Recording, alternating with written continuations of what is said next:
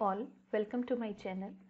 We have discussed so many amazing Colab features, but one thing can be really frustrating for beginners that when you start working in Colab, you get so many untitled files piling up in your Google Drive or maybe in the recent tab here. You can see here if I search for untitled, I have these many untitled notebooks here. Initially, I used to get confused with uh, all these untitled files until I discovered how to handle this thing. Plus, there are so many files with the same name untitled 0, untitled 0, and one more issue was there even though I have deleted this file from my drive then to this file is visible in the recent tab. And if I open this file here it actually opens up the file which is there in the trash. It shows a pop-up that notebook has been moved to trash. Do you want to recover it?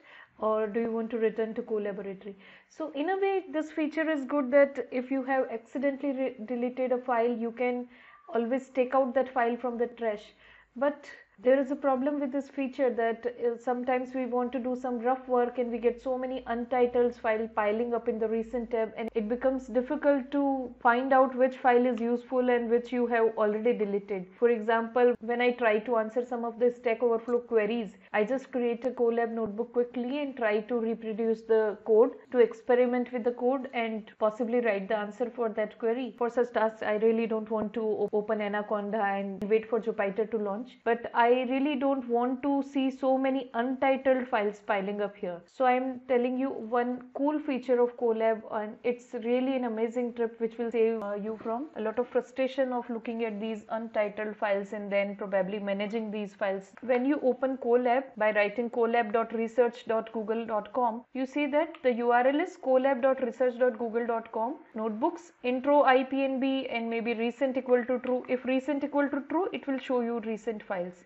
and you can always edit the URL from here. So if you uh, remove recent equal to true, it is basically opening up the introduction to Colab file, which is a tutorial by Google Colab.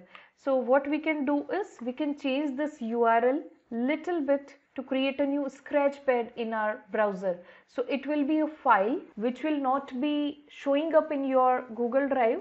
You can work in this file and if you are willing, you can save this file to Google Drive. For that what you need to do is you just need to replace this intro with empty. So when you write empty.ipynb here, this URL will create a scratchpad. Let's see how this is done. You see that you cannot rename this file but you can work in this file as you work in Google Colab. You can do some code, some experimentation and finally if you want to save this file, you can quickly copy this file to your Google Drive if you want to and obviously there are the options to save the file in Drive here as well and saving a copy in GitHub. Also you can download this as Python file or IPython notebook. So it's really a wonderful feature. So i would suggest you next time instead of creating so many untitled files use this quick tip by replacing the url here. If you want to know more about some amazing colab tips please check out my playlist link given above. Thank you for watching